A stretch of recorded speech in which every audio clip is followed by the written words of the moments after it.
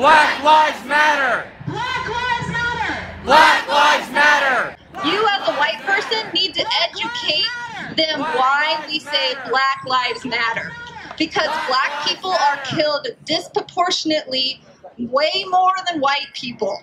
You need to educate other white people, okay? It's not okay that black lives are being extinguished without outrage. Rise up, fight back!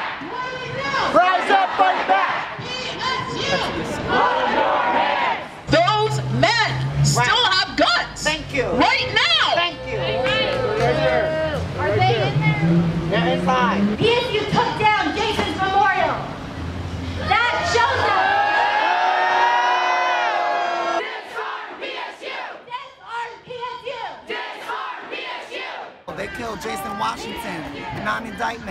After we told them that uh, the campus police did not need to be armed. They did it anyway. We've been protesting for years, so we got a problem. And um, they're gonna have to answer to the people, so we're trying to make the people's voice as loud and strong as possible so that they don't get away with it one more time. lives are under attack. What do we do? These cops killed the good guy. It makes no sense. We are not leaving. We are not leaving. We are not leaving. He was wrongfully murdered. Um, he was trying to de-escalate the situation, and from what I've seen on the video, um, when they got there, shit happened. We're not leaving! We're not leaving! We're not leaving! We're not leaving! This guy looks like he's about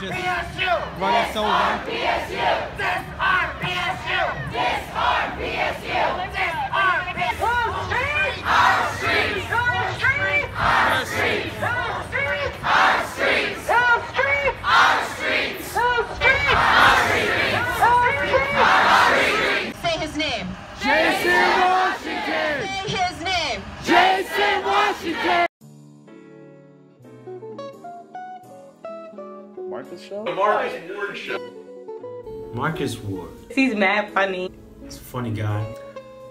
Wow, Marcus Ward. Like him, like his personality. He's a really nice guy, but gosh, he asks some pointy questions. I respect him. I respect what he does, what he's doing. This Marcus Ward show is he he's bringing light to a lot of very special issues and marginalized people. I felt very comfortable with him. I gotta say that the guy is really great. He's adorable. Me llamo Alberto. Yo soy de El Salvador y tú estás mirando el Marcus Ward Show.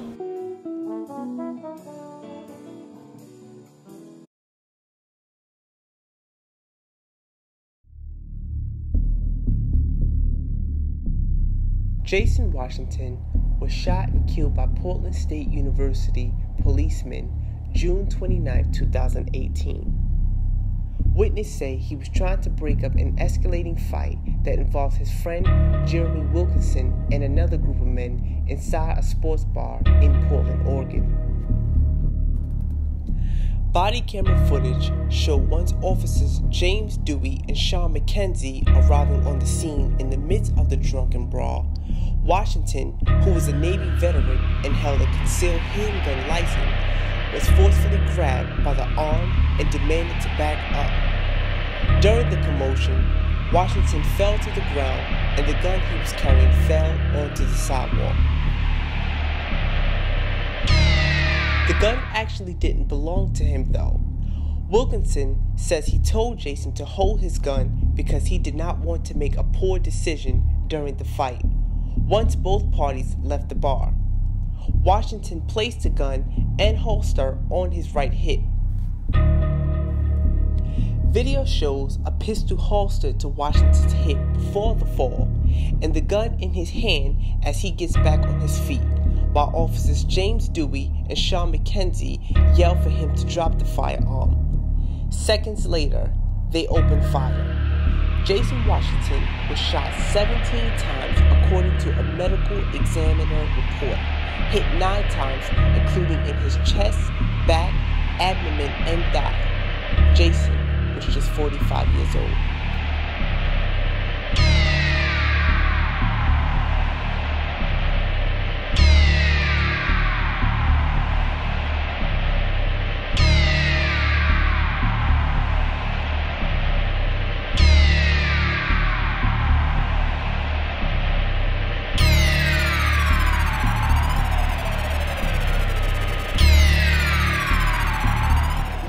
Is dead today because he was a black man picking up a weapon when police showed up. Do you think if he had been any other color, the police would have at least stopped to ask a question or two? Police killing black men that has overtaken our country and it's got to stop right now. Yeah. We live in a city with a 6% black population, yet 54% of Portland's gang enforcement unit stops are of African Americans. Do the math. That makes no sense. No. Where is the outrage when our children are being targeted, arrested, prosecuted by all the government entities that are supposed to keep them safe? I'm outraged. I'm outraged. How did you shoot a man six times? Nine. Nine. Nine times. Because you know when you're shooting black people, you got to shoot them over and over and over again. Because we like, we got that superpower, right? You're bulletproof. Well, because they just ran up and just saw a black man picking up a gun and just decided he's got to be the criminal. Trigger happy. Portland State University had the opportunity to listen to their students.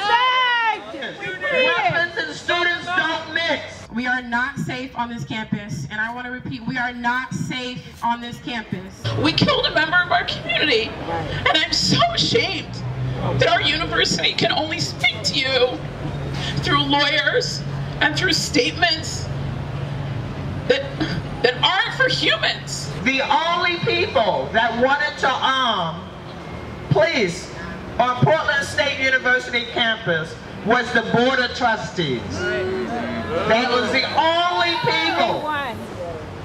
They, the blood, is on the hands of Portland State University Board of Trustees.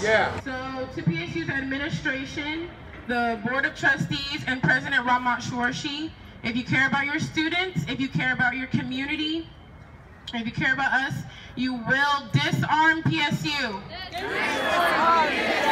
You are in front of campus public safety. There's a police officer right behind you. Are you in fear?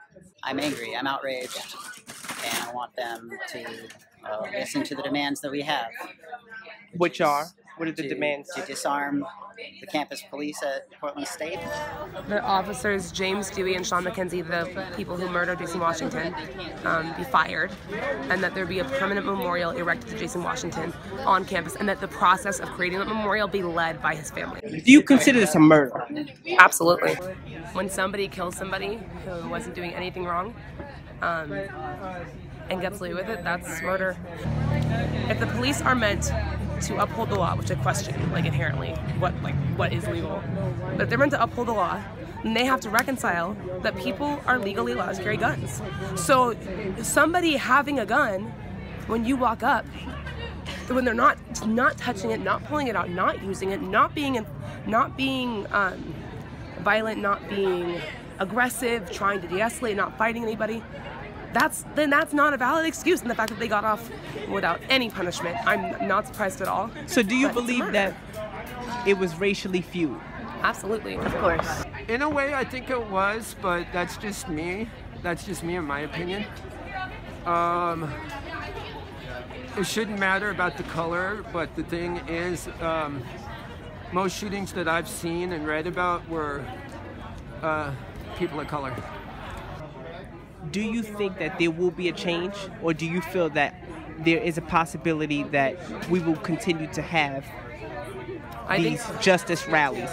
I've talked to high school students who um, have said that Disarm PSU had inspired them at their own schools to do anti-police violence work. What's your words for the the family of Mr. Um, Washington? I've I've I've been speaking with them, and I just always tell them that anything they need, we want to offer them. And you're going to camp out. We intend to stay here until we see justice, until we see that So they have think intention to move forward. Justice will manifest within a few days. Um, I don't know. There's no. I mean, this is a, a escalation that we haven't done before. there is no way to know, um, which is why we have to say indefinitely. We can't we can't lay out and say we know that we'll push them this far in this many days. We all should feel like we've been shot. Because at some point, you might be shot. And if your skin is a little bit darker, the odds of you getting shot, guess what? They just went up. And it ain't just black people, it's brown people. The vast majority of those people that did the shooting were white policemen. And behind me are three campus policemen. And out of those three, of them are black men. Why aren't all of them up here? Why aren't there all the white cops up here? Why are there three cops and two out of three are black? It doesn't look good. It's not a good look, PSU. I just want you to know it's not a good look. I'm not the only one that noticed that because a woman behind me said I was wondering the same thing. So don't think just because I'm a black man that I'm on this black tip. I ain't on the black tip. I agree I'm on a social justice tip. I'm embarrassed this morning. Some of you ain't gonna like what I'm about to say because two out of the three cops are black, but the vast majority of people here are white. I don't know where my brothers and my sisters are this morning. That they can be okay not coming downtown in this city and supporting a family who lost a loved one. Jason was a provider, a protector, a husband, a father, a papa, a friend, a veteran, and he was our everything. He was violently and needlessly taken from us. If you knew Jason, you know what I'm saying to be the truth. When he walked into a room, he lit it up. With his smile, his personality, his friendliness, he died protecting his friend. He was the best man that I have ever known, and I will miss him every second of my life until I meet him again in eternity. He respected law. He respected guns. He was concealed weapons permit carrier, which is why he had the right to have that gun on him that they shot him over.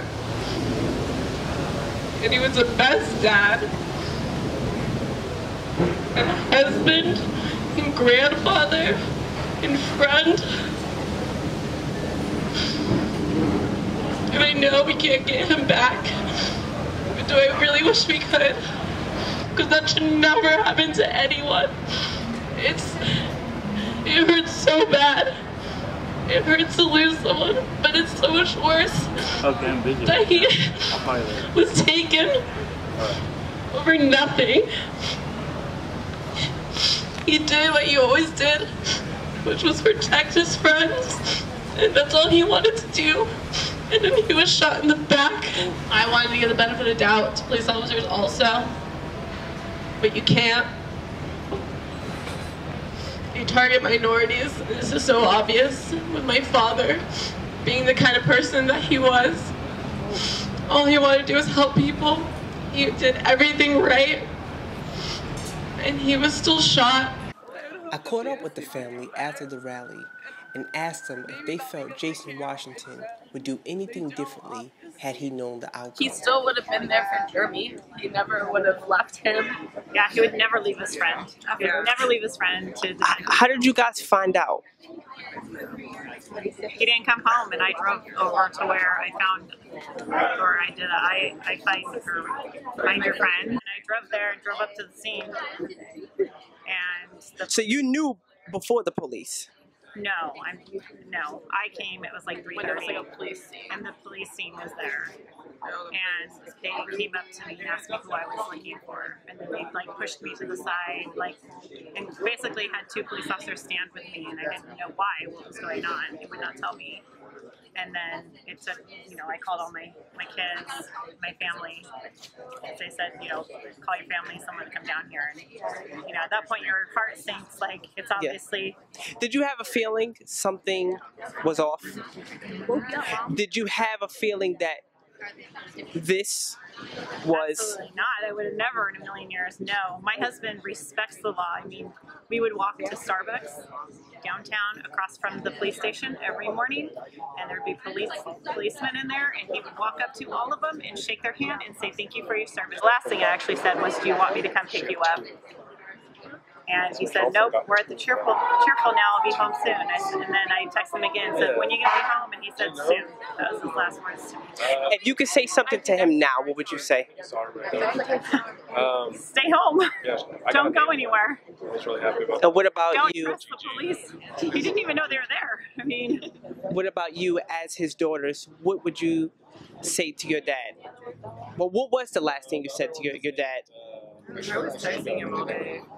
We were just talking about different scenarios that happened, which is weird. Like I even said like that day about one of the kids had been shot by a police officer.